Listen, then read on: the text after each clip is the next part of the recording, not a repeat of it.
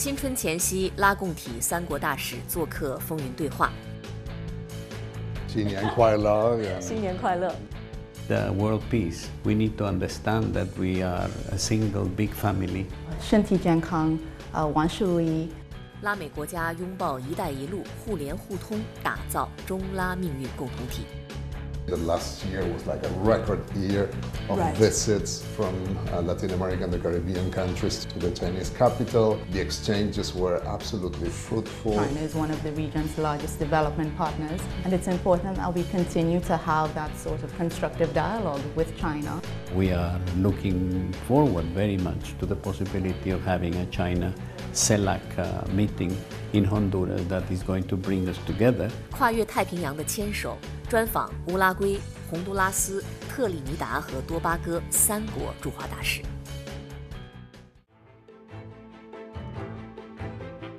今年是中拉合作的大年，也是中拉论坛创立十周年。二零一四年，中国拉美和加勒比国家领导人会晤在巴西举行。习近平主席同与会各国领导人一致决定建立平等互利、共同发展的中拉全面合作伙伴关系，共同宣布成立中国拉共体论坛。习近平主席首次提出构建中拉命运共同体的倡议。十年来，中拉首脑政要频繁会晤，经贸合作不断深化，民间往来日益紧密。甲辰龙年到来之际。风云对话走进乌拉圭大使馆，在这里，我见到了乌拉圭驻华大使、拉丁美洲和加勒比外交使团团长费尔南多·卢格里斯，洪都拉斯驻华大使萨尔瓦多·蒙卡达，以及特立尼达和多巴哥驻华大使刘娜。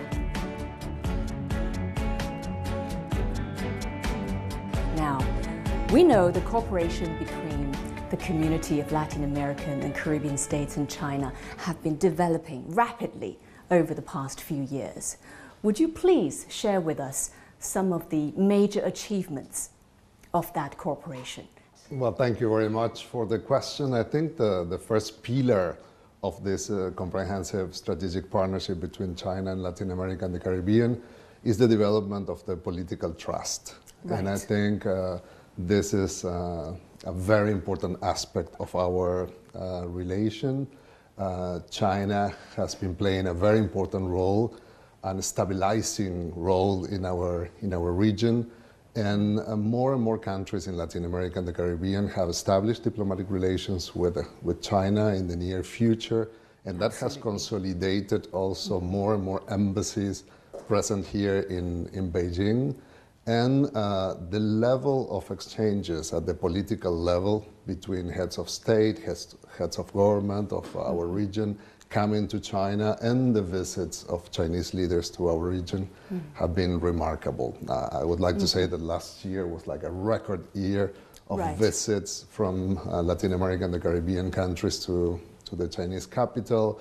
The exchanges were absolutely fruitful. Mm-hmm. And we are expecting that the year 2024, the year of the dragon, is going to be also a very important year mm-hmm. for more communication between Latin American and Caribbean countries and China, and the preparation of hopefully a big summit between uh, CELAC and China in the near future because we have been meeting at the level mm-hmm. of ministers of foreign affairs, but we mm-hmm. got a mandate that the next uh, occasion probably will be heads of state uh, summit. So this right. is a, something that we need to prepare actively during the course of the year of the dragon.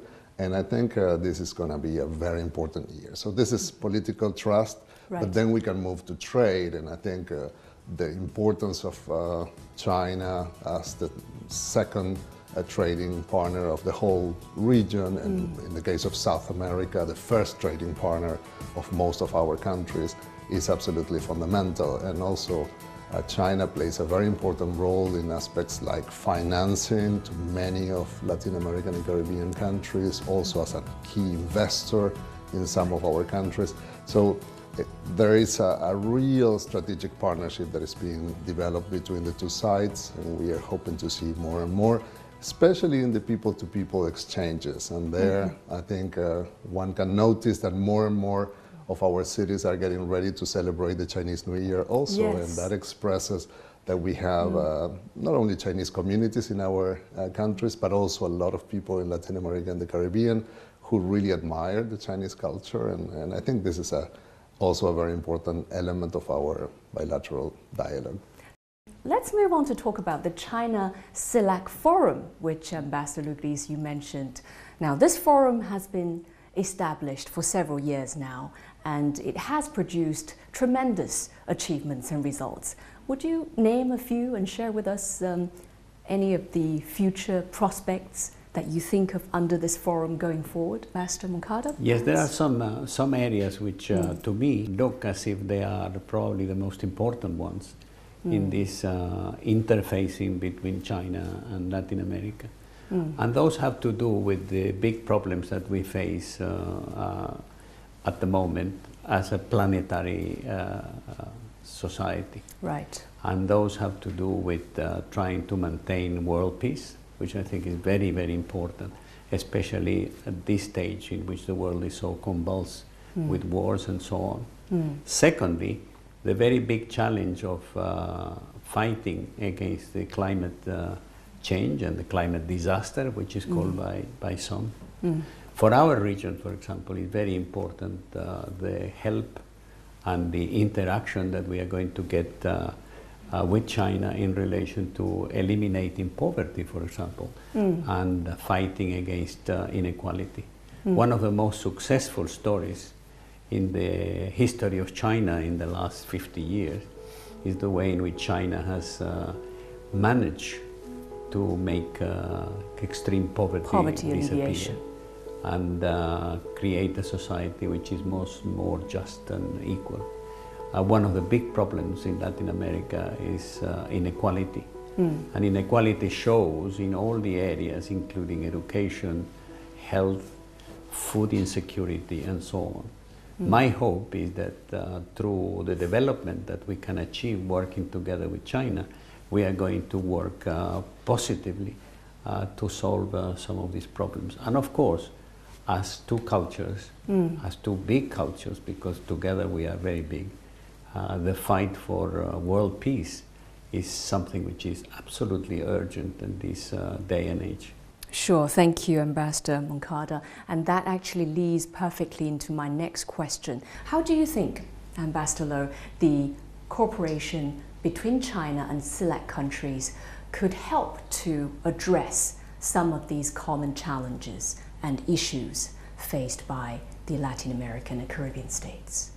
Yes, you are absolutely right. Um, the Latin American and Caribbean region, we do face a series of complex challenges. Some of these challenges are not unique to the region, um, but you know, we have to work together to continue to find solutions to deal with some of our most pressing challenges within the region. It does not augur well for any one country to work in isolation to find any one solution to deal with some of our challenges. Because of how interconnected and how interlinked so many of our problems are, um, it is important that we continue working with our international partners like China to find solutions to some of our problems. I think that the China CELAC uh, Joint Action uh, Forum 2022-2024 is very important because it allows us to encourage consensus building, it allows us to encourage dialogue across borders and sectors, and it even helps us to address some of the challenges that we all face, if not all of them.《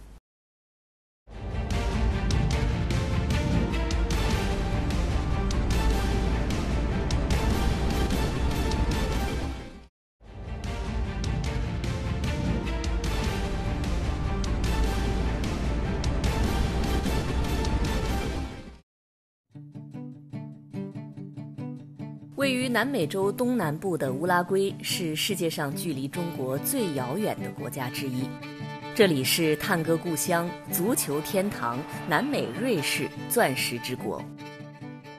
二零一六年，中乌共同宣布建立战略伙伴关系。二零一八年，乌拉圭成为首个同中方签署“一带一路”合作谅解备忘录的南方共同市场国家。此后几年间，两国贸易额不断增长。二零二一年，即使在疫情背景下，乌拉圭对华出口总额仍创下新高。二零二三年是中乌建交三十五周年，乌拉圭总统拉卡列访华，两国元首宣布将中乌关系提升为全面战略伙伴关系。站在这一新起点上，两国合作领域将愈加丰富，人文交流愈加多彩。How do you think the two countries will go forward hand in hand to celebrate that upgraded relationship? I think the presidential visit was a very historical landmark in our uh, long history of uh, exchanges, and it has mm-hmm. proven that uh, in the case of Uruguay, we have a state policy mm-hmm. regarding China, that every single government of Uruguay has been here with the same clear message that we want to do more with China, mm-hmm. that we share a lot of uh, values and principles with the Chinese government, and especially the, the passion for free trade. Uh, President Lacalle Pou and President Xi Jinping had a, mm-hmm. a, remarkable conversation on the importance of continue to push for more free trade internationally at the WTO level, uh, mm-hmm. in the conversations between CELAC and uh, China, and also in our sub-region, the Mercosur countries. So sure. this is a very important uh, common value that we that we share. We um, hope to be uh, promoters of more free trade in our respective region with China, being mm-hmm. China our number one trading partner. So we are very happy with the outcome of the, of the visit, and we think that with more than 26 agreements that were signed, mm-hmm. we have a lot of work to do. Right. So now we have to implement all the agreements that were uh, signed in this occasion, and we have a very meaningful mm. uh, action plan for the Belt and Road uh, initiative. We have a fantastic new five years plan for agricultural cooperation, so many instruments that we need to, to put into place from cooperation at the Antarctic, mm. uh, scientific research to more scholarships for more Uruguayan university students to come to this country. So a lot of things and now we really need to work actively to, to put in place. And football? And Sports? football cooperation is going to be there, of course, because right. this is a passion of President Xi Jinping. This is a passion of millions of Chinese uh, people. And of course, this is a very important part of uh, Uruguayan culture. Mm. So we are hoping to, to receive uh, more Uruguayan stars coming to China this year. Like we received last year the, the Uruguayan world champion uh, sub 20 team, and we are hoping to have more um, sports cooperation in general because a lot of uh, sportsmen and women from Uruguay have been to China to be trained in many different areas, and of course, sure. football is a is an excellent uh, example of how complementary both countries are, mm-hmm. but we have many more areas of uh, sports cooperation to, to be developed in the near future. 在太平洋和加勒比海之间，在美洲的中心位置，有一个热情的国家——洪都拉斯。二零二三年三月，洪都拉斯与中国建立外交关系。 成为第一百八十二个与中国建交的国家，之后两国关系驶入快车道。建交三个月后，伴随着卡斯特罗总统首次访华，洪都拉斯不仅加入“一带一路”倡议，还加入进博会朋友圈，成为主宾国之一。截止到目前，中洪两国已经完成了自由贸易协定的三轮谈判。九月。萨尔瓦多·蒙卡达在中秋国庆双节期间抵华履新，成为洪都拉斯首任驻华大使。现年七十九岁的蒙卡达是著名的科学家和药理学家，曾长期从事癌症和心血管疾病的药物研发。Honduras and China established diplomatic relations in March last year. Would you please share with us? The details of that story? Well, given the region in which we are, uh, people have to understand that uh, opening uh, diplomatic relations with uh, China for Honduras was a momentous decision. And that was uh, due to the vision and to the uh, courage of our president, Doña Xiomara Castro. Mm. So that is a very important point. Uh, we look at it uh, with great uh, positive view, and uh, as you probably know, we are uh, discussing now a free trade agreement between the two countries. Yes. We have had three rounds of the of the discussions, and the fourth round will be in March here in uh, Beijing. Mm-hmm. And uh, as far as I can uh, tell you, things seem to be going ec- extremely extremely well. I think that uh, for us it represents uh, the possibility of uh, living in a multi- multilateral world, uh, which opens up the possibilities of uh, looking at different things and having the possibility of choice. And that uh, is a very significant uh, thing. Even before the Freight Trade Agreement is, uh, is signed and, and sealed and, and delivered, uh, we are already uh, having a very significant uh, uh, movement in terms of, uh, of trade in those uh, products that I mentioned uh, Sure. to you before. And we are exploring, obviously, uh, other areas uh, that, uh, uh, in which we can uh, have trade between China and, uh, and Honduras. To me, again, uh, I think that the possibility of finding areas in which uh, we can learn from China in areas of science and technology, which is going to really uh, uphold the development of Honduras into a higher stage of development beyond just an agricultural uh, uh, producing country, is one of the most uh, significant things. One of the things, for example, which I have to mention, which is very important, is that uh, uh, China donated a very significant amount of money to Honduras when uh, our president was here, uh, and we are using that money to refurbish and develop uh, schools in the countryside, which are uh, in a state of uh, disrepair. Right. Uh, that is a pet project of our president, which is uh, already uh, developing. Uh, the other important thing is that uh, Honduras will be now uh, this year the president of uh, CELAC, Right. and that uh, we are looking forward very much to the possibility of having a China CELAC uh, meeting in Honduras that is going to bring us together and is going to help the interfaces between the region and, and China. Uh, we are very much looking forward to it. 特多位于加勒比海小安地列斯群岛的东南端， 由特立尼达岛和多巴哥岛两个主要岛屿组成。特多和中国的人员往来已经有两百多年历史，它也是最早和中国建交的加勒比国家之一。自1974年建交以来，两国一直保持着密切的友谊。在节目中，刘娜大使谈及她的祖父母来自中国广东省中山市，因此她此前曾多次到访广东省。作为特多驻华大使，刘娜将深化两国经济合作和人文交流作为他任内的首要任务。Some Chinese people don't know very much about Trinidad and Tobago, so if you were to describe your country and, you know, introduce it to our Chinese friends here, what three words or phrases would you use? Well, that is actually a very difficult question because there are so many different words that I can use to describe uh, Trinidad and Tobago. But I would have to say that we have a vibrant culture, we have a diverse population, and we have a very dynamic economy.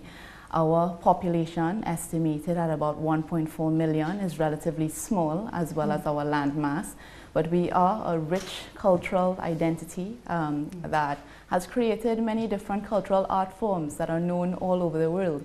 For example, our world famous carnival is considered the largest and longest street party in the entire world. And I invite many of our Chinese friends today to visit us in Trinidad and Tobago to wear beautifully crafted costumes to celebrate and dance to our local music in the streets of Port of Spain in Trinidad and Tobago. In terms of our diverse population, we can trace our ancestral linkages back to so many distant lands such as Africa, India, China, Europe, the Middle East. Mm-hmm. And because of that, we see the strength in our diversity and we are called the land of festivals.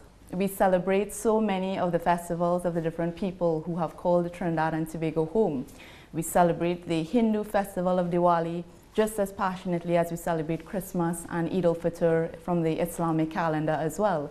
Mm. So we do value and appreciate everyone's cultural identity and their contribution towards making up of a modern day Trinidad and Tobago. In terms of our very dynamic economy, Trinidad and Tobago is classified as a mature hydrocarbon province with over 150 years of experience in the oil and gas industry. And we also rank among the world's largest exporters of ammonia, methanol, and liquefied natural gas.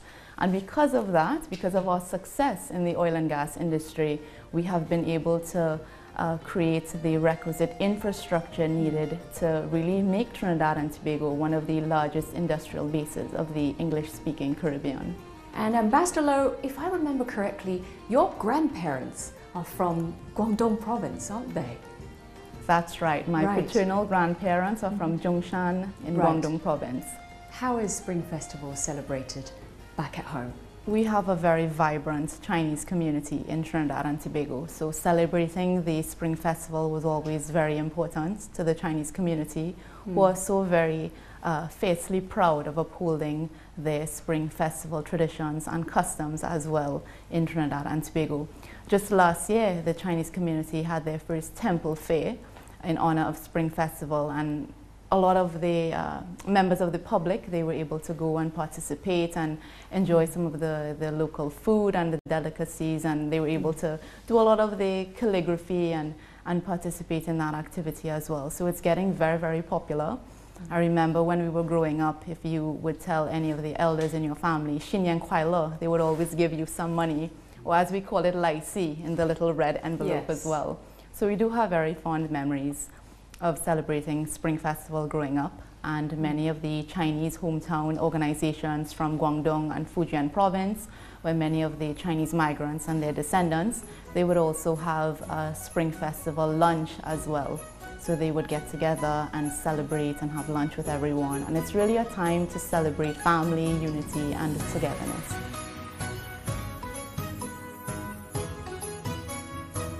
值此新春佳节之际，我也向三位大使们介绍了中国传统的新年习俗——张贴对联、窗花。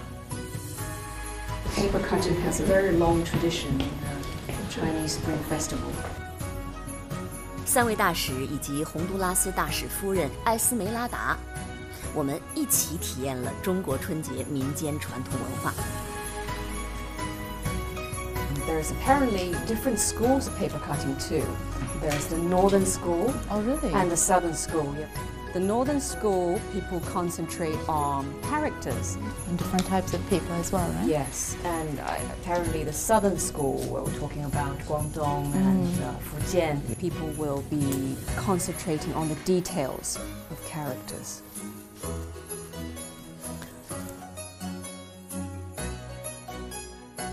窗花寓意着辞旧迎新、接福纳祥，作为吉祥如意的美好象征，将节日装点得红火富丽。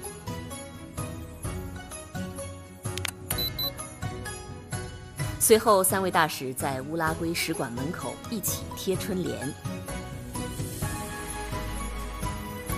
九重春色含瑞露，四时佳气满华堂。”表达了人们希望在新的一年里迎来好运和好兆头。Good fortune. Good fortune for everyone. 福字，福。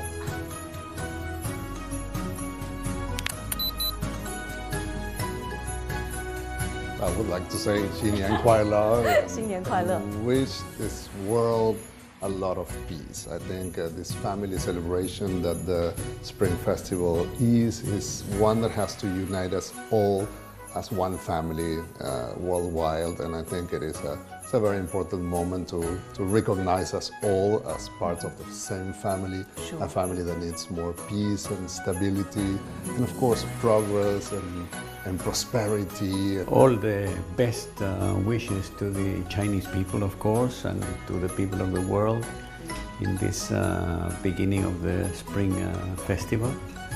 World peace is probably the most important value that we have to strive for, especially in a year which is uh, so important like the Year of the Dragon, full of energy and full of good wishes and possibilities.